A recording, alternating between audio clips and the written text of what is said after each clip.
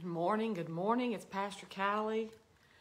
No, uh, November. I don't know why I keep wanting to say November. Lord, we don't want that much time to go by.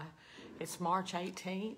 We are marching on to victory. We are in the month that we're actually being birthed into our destiny in the spirit. Many of you will walk out, begin to walk it out in the actual, uh, in the natural as well as the supernatural. But this is a birthing month uh, on the Hebrew calendar.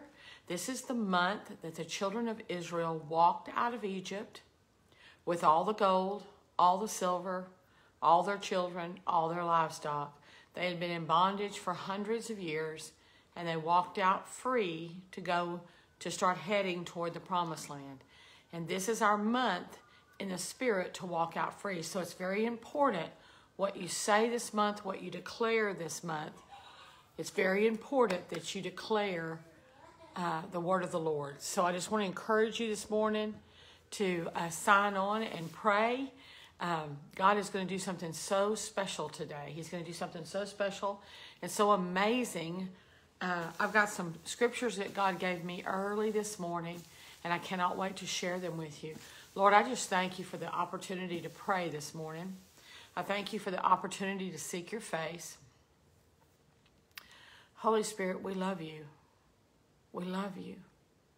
We honor you. We give you praise and glory. We give you honor. On this beautiful Thursday morning, there is none like you, Father. There is none like you. We give you honor. We give you praise. We give you glory. We worship you, Father. We worship you on this beautiful Thursday morning. We thank you, Lord, for the miracles that are taking place across this month. This is March 18th, and we are marching forward into our destiny. We are marching forward into our healing. We are marching forward into everything that God has promised us. We are mar- marching forward. We're no longer going backward. We're not standing still, but we are going forward because you are a God of forward. You are a God that, that propels us forward. And Lord, I just declare and decree that the that your spirit is just flooding these rooms, flooding these houses, flooding these living rooms, these bedrooms, wherever these ladies are at today, God, that your spirit is just touching them and that they feel your power today and that they hear your voice today and that they're just being encouraged by the Holy Ghost. I see God's, He has literally sent forth angels to minister to you today. I believe that everybody that signs on today, that there's literally going to be an angel ministering to you today. This is a very special day. This is a very special day. And so I want to encourage you to share the broadcast. I want to encourage you to share the broadcast and say, pray with us. Miracles are going to happen today. Many of you are going to get assignments today. Many of you will uh, literally experience extreme breakthrough in the spirit. Something's going to happen in the spirit that God is going to catapult you into the next seasons of your life, into the next to the next piece of your story, the next part of your destiny. We are in a marching forward motion. God's church is going forward. The American church is going forward. The American church is arising to prayer. The American church is arising to uh, be everything that God has called her to be. The church worldwide is arising. Uh, revival fires are beginning to burn across America. I just thank you, Lord, that a desire for prayer is going to just literally envelop us so strong that we will want to pray literally morning, noon, and night, that we will want to spend hours in prayer.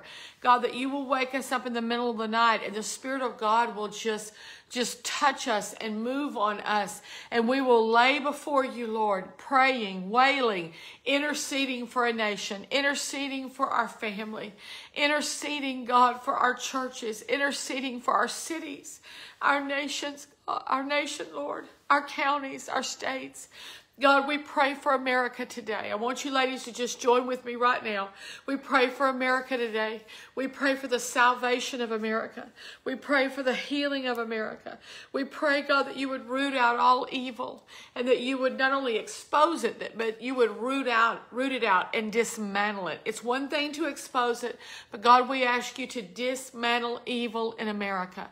Dismantle evil in every sphere of influence. Dismantle it, God. We ask you to put in righteous legislatures, righteous laws. We ask you to put in righteous governors. We ask you to put in righteous mayors. We ask you to put in righteous senators and congressmen. And God, we just pray for righteousness in our country. We pray for our government. We pray for our president. We pray, God, for everyone that holds any kind of political office, Lord. And we first ask you, Lord, if their hearts are not right, that you make their hearts right. God, that you deal with them, that you call them, that you speak to them and let them draw nigh unto you, Lord. Give them a space and a time to repent because you are a good God. But Lord, if there's anyone that won't repent, then we ask you to put someone in, remove them from office and put someone in that will live according to your word, that will rule according to your word, that will care about the people. I pray for entertainment in America. I pray, God, that you would clean entertainment up, that you would clean up our movies, you would clean up our music, you would clean up every, every type of entertainment, God, that your spirit would just raise up holy, holy, righteous entertainers, entertainers that are sold out to you, God.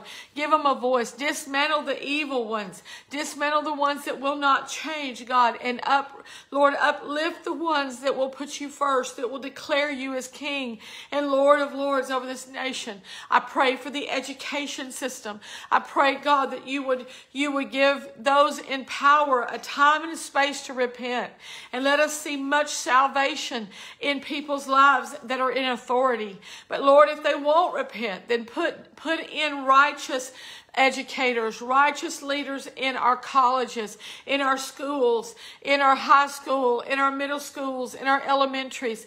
God, we ask you that you would literally cleanse every part of our communities, cleanse every part of our communities. We pray for the businessmen, the businessmen, the movers and shakers in this nation, the, the men and women that are called to make money and to give, uh, to employ thousands God. Let righteousness reign in our business sector, in our economic sector.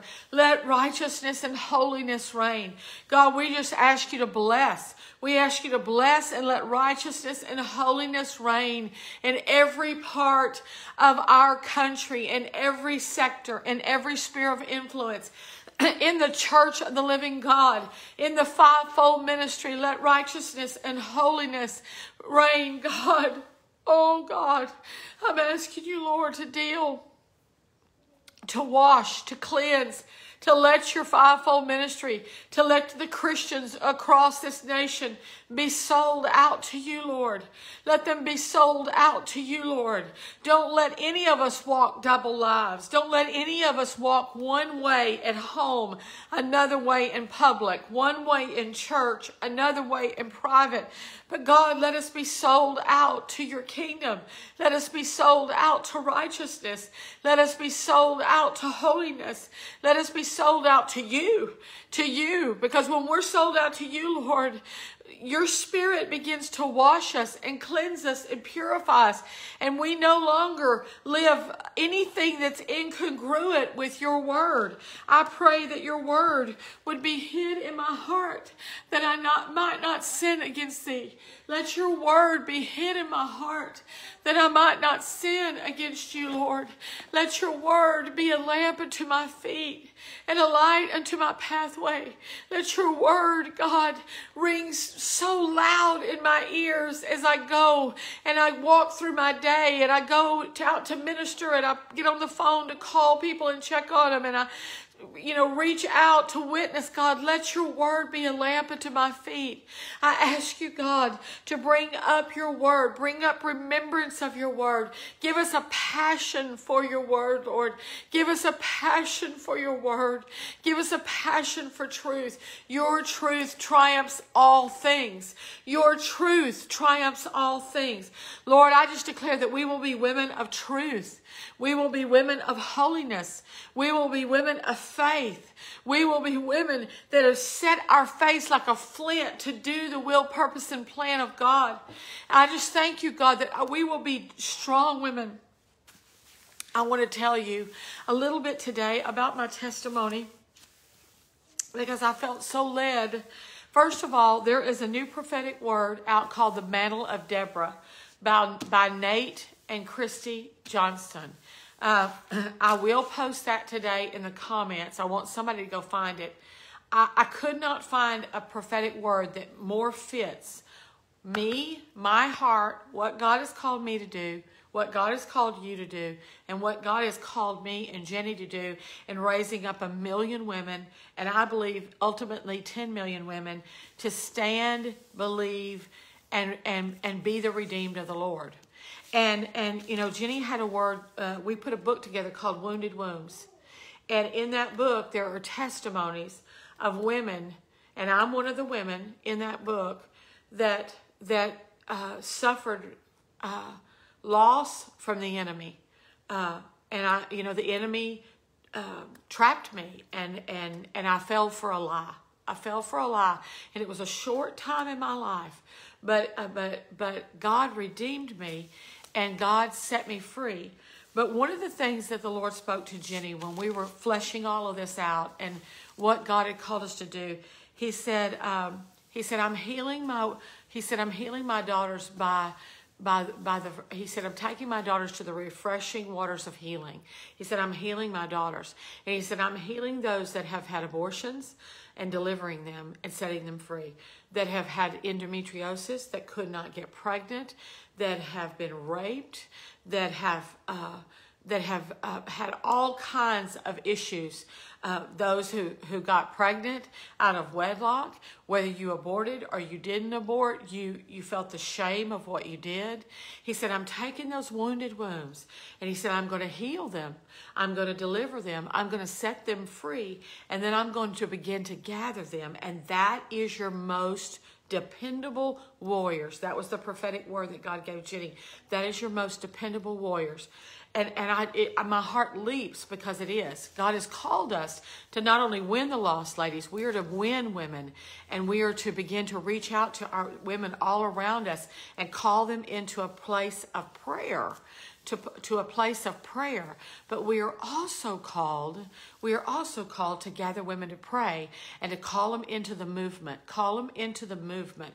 And uh, if someone for me would, I, I, at the top of this broadcast is going to be everything you need to know about the next, uh, the next Her Voice um, uh, event we have going in Joplin. It'll tell you how to join the movement. If you'll type in that number, put in her voice, you can join the movement. You can put in boots on the ground too, and they'll find places for you to work and get involved. But God is calling a million women across America, and that's just the remnant because I believe there will be 10 million before we're through. And God is breathing on this thing. He is breathing by the by the Spirit. You have been called into a supernatural uh, a mantle. There has been a supernatural mantle, and it's the mantle of Deborah, and it's the mantle of Esther. And we're a company. We are a company of Deborahs and Esther's. We are a company. Let me say it again. We are a company. Um, I'm going to give you a tiny bit of my testimony, and, and then we're going to pray. And ladies, if you'll go on and share the broadcast, it's very important. Put Pastor Callie's giving some of her testimony. Pastor Callie's sharing some of her testimony. And then I'm going to declare the word of the Lord. We are a company of Deborah's and Esther's, and God is calling us to raise up women all across America. He is calling us. So we invite them into this prayer meeting.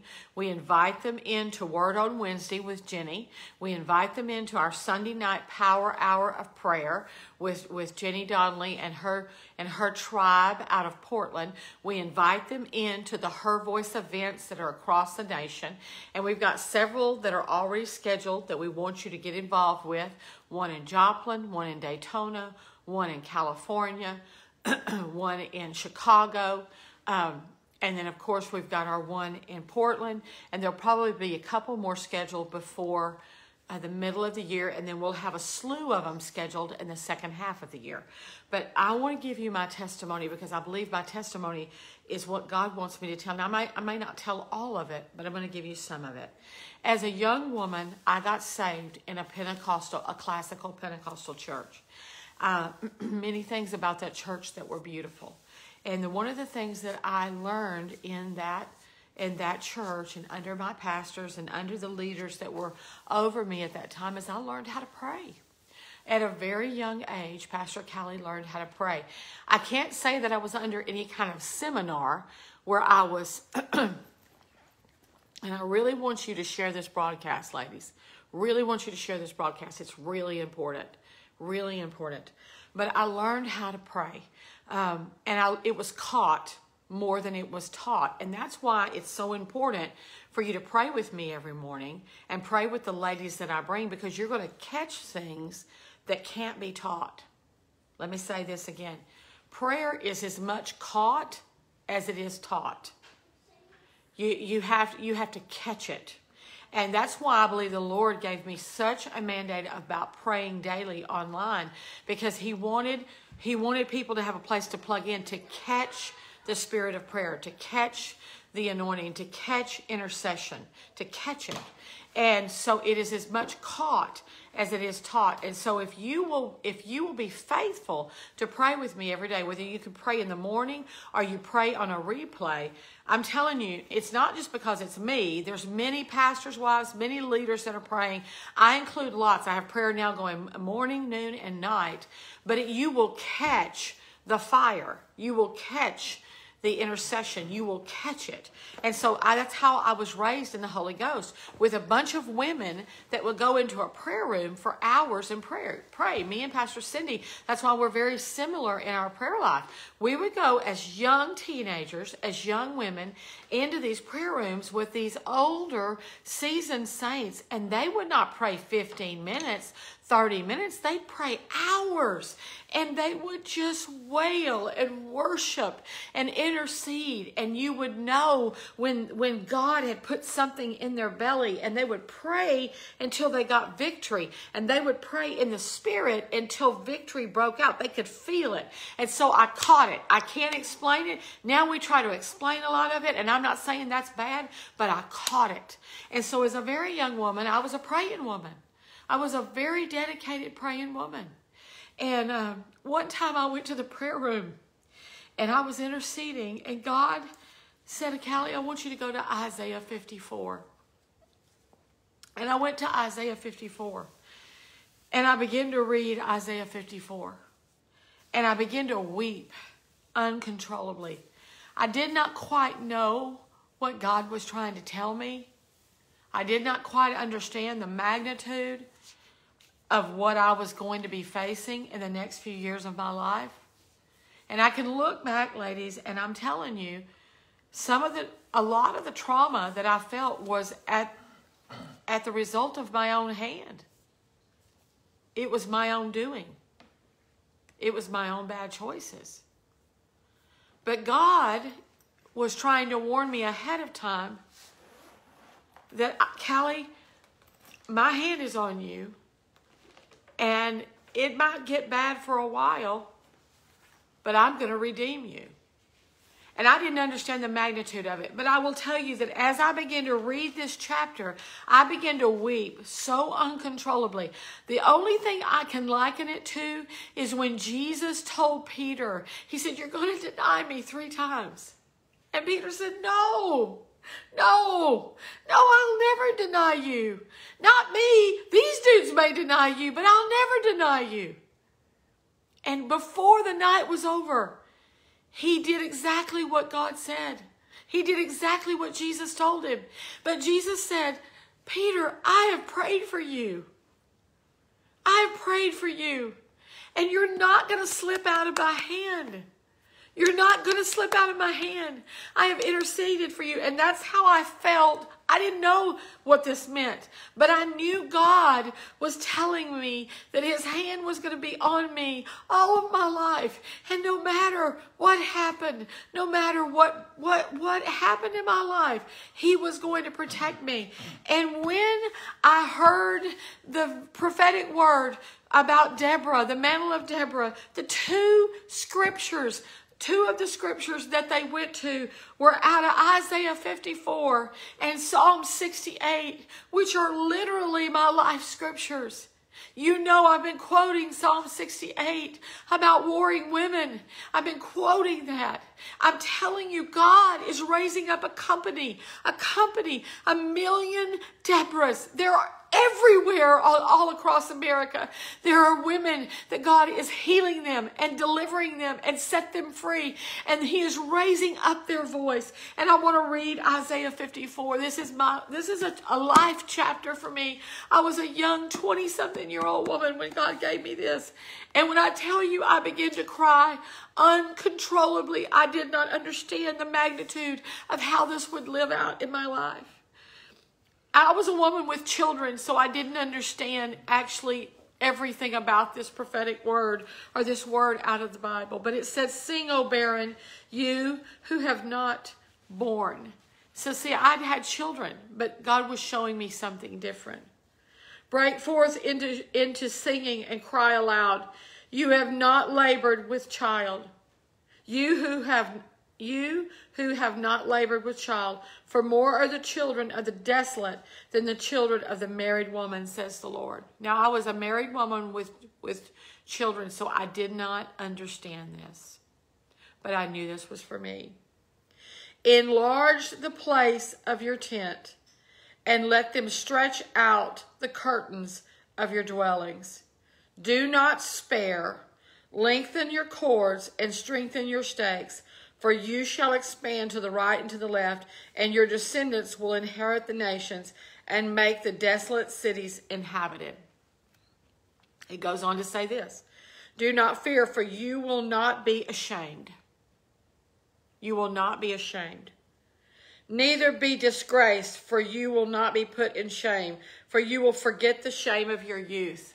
And when, when he said, forget the shame of their, of their youth, now I was a young woman there. I did not understand, but within about two years, things began to unravel in my life. And you will not remember the reproach of your widowhood anymore, for your maker is your husband. The Lord of hosts is his name, and your Redeemer is the Holy One of Israel. He is called the God of the whole earth. For the Lord has called you like a woman forsaken and grieved in spirit like a youthful wife when you were refused, says your Lord. For a moment I have forsaken you, but with great mercies. And when I got to this, I cannot explain to you. I was in my late, I was actually in my late 20s, almost to turn 30. With great mercies I will gather you. With a little wrath I have hid my face from you for a moment, but with everlasting kindness I will have mercy on you, says the Lord your Redeemer. For this is like the waters of Noah to me, for I have sworn that the waters of Noah would no longer cover the earth. So have I sworn that I will not be angry with you nor rebuke you. For the mountains shall depart and the hills, for the mountains shall depart and the hills shall uh, the hills be removed, but my kindness shall not depart from you, nor shall my covenant of peace be removed, says the Lord, who has mercy on you. So he began to explain to me, Oh, you afflicted one, tossed and tempted and not comforted. So what he was telling me is there's something coming. There's something coming. There's something coming, Callie. There's something coming. You're going to feel forsaken. You're going to be alone. I knew I was going to be single for a long time. I did not understand. I did not understand, but I knew it. I, that was before I actually understood I was prophetic, but I knew that I was headed for a time of great testing and great sorrow. Behold, I will lay your stones on colorful gems and lay your foundations with sapphires. I will make your pinnacles of rubies, your gates of crystal, and all your walls precious stones. Listen to this. All your children will be taught by the Lord, and great shall be the peace of your children. In righteousness you shall be established. You shall be far from oppression, for, for you shall not fear, and from terror, for shall not come near you. Indeed, they shall surely assemble, but not because of me. Whoever assembles against you shall fall by your uh, for your sake. Behold, I have created the blacksmith who blows the coals in the fire, who brings forth an instrument for his work, and I have created the spoiler to destroy. No weapon formed against you shall prosper, and every tongue that rises against you in judgment you shall condemn. This is the heritage of the servants of the Lord, and their righteousness is from me, says the Lord. I knew I was headed for a time of testing and trouble. And some of it was going to be from my own hand, from my own choices. Some of it I would have no control over. But God was giving me a promise. And when I listened to that word, by Nate and Christy Johnston, I realized that was a word for Mothers of Zion and for her voice. That was our word. That is, it pulls scriptures talking about the stakes, lengthen your cords, strengthen your stakes. We're in a time that God is expanding us. He is stretching us. He is stretching us in prayer. He is stretching us in fasting. He is stretching us in faith. And He has called and anointed us to do the work of the Lord. Uh, within a couple of years of that, uh, our church went through a terrible split, and it was uh, it was terrible, and uh, there was a lot of fallout from that, and a lot of people lost their way, and really a lot of people never came back to the Lord. During that time, we we saw many people suffer. There was a lot of marriages that suffered. Mine was one of them. And my husband and I ended up uh, separating and uh, at that time, and um, I was so so disappointed because Pastor Callie only planned to be married one time, and I was so disappointed. And I got out of church for about a year, year and a half, and uh, I had to, you know, I, would only done two. I literally only had two dreams my whole life. Um, one was to be a country singer. Big surprise, huh? And uh, the second one was to do the work of the ministry after I got saved. And I gladly laid down any dream of entertainment after I got saved because, you know, we were in a real strict movement. You didn't listen to any kind of secular music. You only listened to Christian music. And um, so I got, and then once I got in church and many years we just helped our pastor build the church. We worked and helped and we were glad to do it. And uh, then I find myself uh, divorce, going through a divorce, not divorce, but going through a divorce, separated, going through a divorce. Now I've got to learn how to um, take care of my children outside of church. The only thing I'd ever done is help my pastors and worked in the church. I never had a regular job. My husband is one that worked outside of the home. And so I find myself a single woman with my children, and forsaken is how I felt. Absolutely. Um, and I had to get, I had to learn something. So I, I, I uh, had a friend in East Texas that said, Callie, you'd be a great salesman. You need to learn how to sell insurance. And so I went to uh, a training and I took an insurance test and started selling insurance. And I ended up, um, you know, not going to church for that year and a half. I ended up getting pregnant with my baby girl. And um, I wasn't married. I wasn't even completely divorced. We were separated and we were, had filed, but I wasn't divorced. I got pregnant with Rachel, and uh, I was going to abort my baby. I I was that I was that I was that messed up, and I knew it was sin. I was under no illusion. I knew I knew what the Bible said. I wasn't deceived or telling myself that it was some sort of a, you know, uh, just nothing. I knew that if I if I went and had my baby aborted, that it was sin and it was murder. I was, I was not deceived. But uh, in the course of a few days, uh, uh, the Spirit of God woke me up in the middle of the night and with a phone call from a pastor's wife who gave me a prophetic word and told me that, that if I, uh, she just said, I had a dream, and in the dream, I, I heard the Lord say, I saw your face, and I heard the Lord say, Callie's in trouble. And she goes, In my day, when a woman was in trouble, she's pregnant out of wedlock. And, and she said, uh, Is that the case? And I said, Yes, ma'am. And uh, she didn't even know what was going on. And she said, uh, she said, if you abort this baby, this, this, this, and this will happen. She said, but if you face your sin and repent, this, this, this, and this will happen. I felt the fear of the Lord and the mercies of the Lord all at the same time. I, will never, I've never had a feeling like that before, nor since.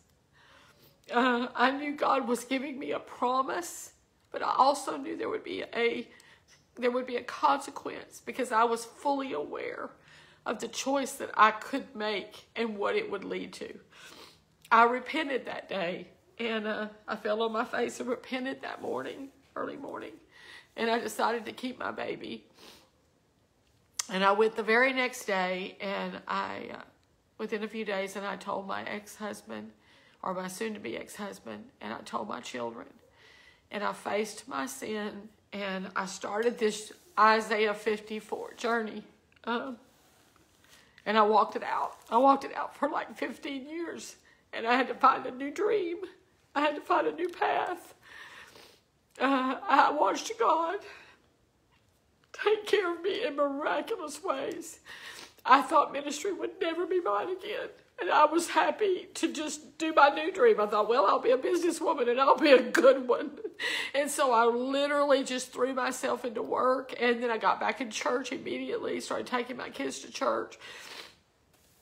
I was in church every Sunday and I raised my kids in church and I just helped my pastors. Uh, there was a couple of different men that I helped for a few years, men and women that I love so much that I helped them with their churches. And then traveled with Todd and Cindy because they were traveling full time. And then uh, after about 15 years, God began to speak to me to come back into full time ministry, and He opened the door. So here I am. But I'm telling you right now that there's nothing you've done that disqualifies you. If God, as long as you're living and breathing, God's will, purpose, and plan can be done in your life. All it takes is, I'm sorry, and I repent. And I here I am, Lord. Take what you have, take what I ha- what I am, and use me for your glory.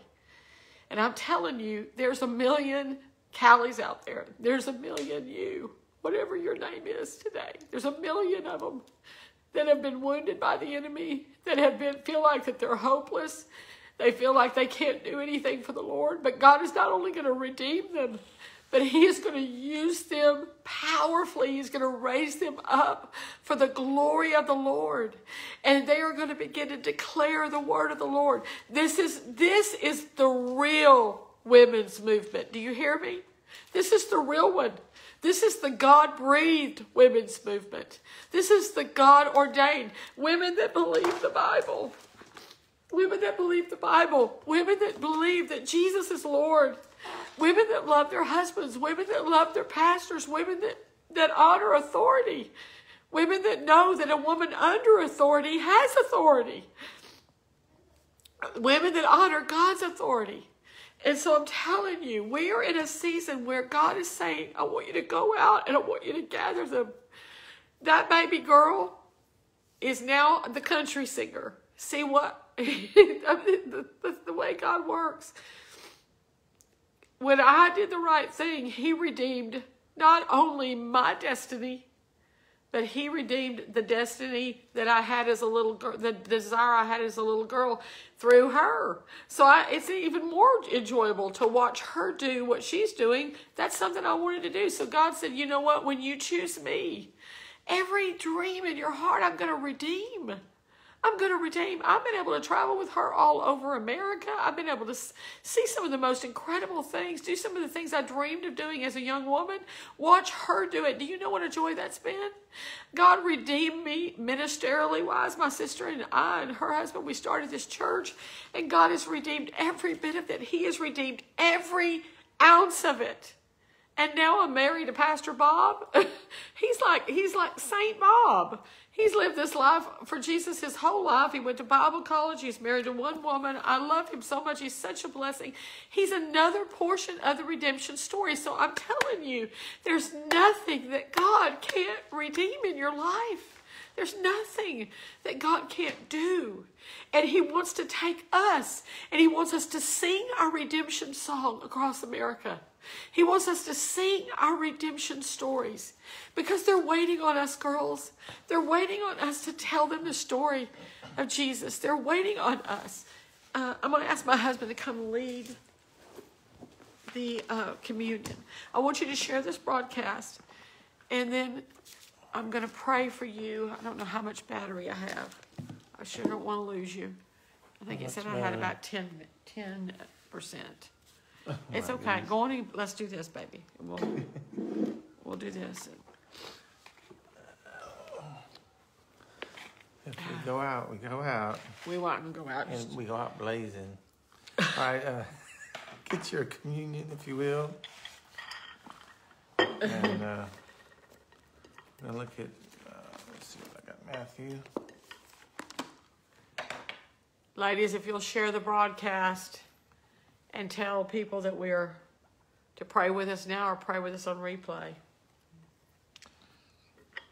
Matthew 26, verse 26. While they were eating, Jesus took bread and gave thanks, and he broke it and gave it to his disciples, saying, Take, eat. This is my body, which was given for you. Thank you, Jesus, for your body given as a sacrifice, as a lamb, taking away the sins of the world, taking away sickness, disease, fear, worry, Amen. anxiety, Amen. all the things that go with sin. Jesus bore it away, carried Amen. it away. Well, thank you.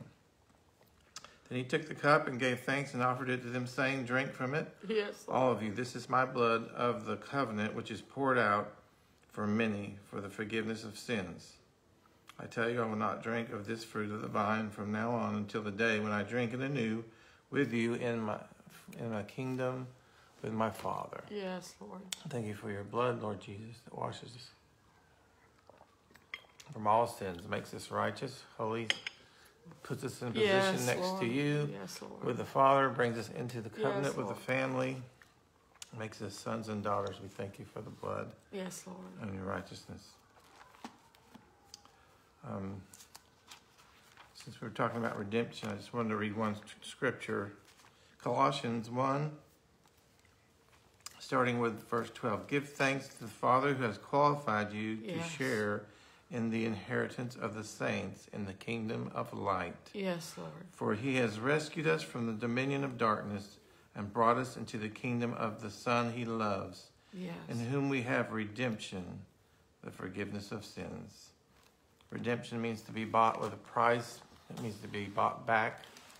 We were so we were sold out by sin to the enemy and his ways. Jesus bought us back. Yes, Lord. We belong to him and he turns everything back around that we lost and gives us more in return. Amen. Amen. Lord, I just declare the blessing of the Lord over every one of these women today. I declare that they're the head, not the tail, the first, not the last. I declare that everything they set their hand to do is blessed. I thank you, Lord. The Lord spoke to me and said that He was giving out mantles during the month of March. And there's gifts of healing, there's gifts of deliverance, there's gifts of prophecy. Um, there's all kinds of gifts that the Lord is pouring out. And He just needs you to say yes. He just needs you to say yes. So, Lord, I just thank you, Lord, for your handmaids that they're saying yes. They're saying yes to you. They're saying yes to you. I thank you for healing everyone that's that's represented here. Anyone that's sick or that has a family member that's sick, we thank you for healing them. We thank you, Lord, for what we're what you're going to do in Joplin. I want to encourage you if you're anywhere Joplin, Missouri, get there. Plane, train, automobile, get there. Uh, I really sense that the fire of God is going to manifest in Joplin. Uh, this morning I was praying and I just I saw the fire of God manifesting in Joplin. So I want to encourage you get out to Joplin. God is going to do something so so uh, magnificent at that event. And I just want to encourage you. This is also the month to sow a first fruits offering. I want to encourage you to do that. Uh, this is not your tithe. Your tithe goes to your local church, but a first fruits offering. Uh, every year we do this, and I have seen God do supernatural things for me during this time. Uh, on the top of this broadcast, you you can, if you want to give towards her voice, this is a place where you can do it. We love you, we honor you, and uh, we'll see you in the morning. Pastor Teresa Verdecchio is going to be leading in the morning. She is a powerhouse, and uh, and then I'll see you at noon. I'm probably going to sign on around noon and pray again today. Love you so much. God bless.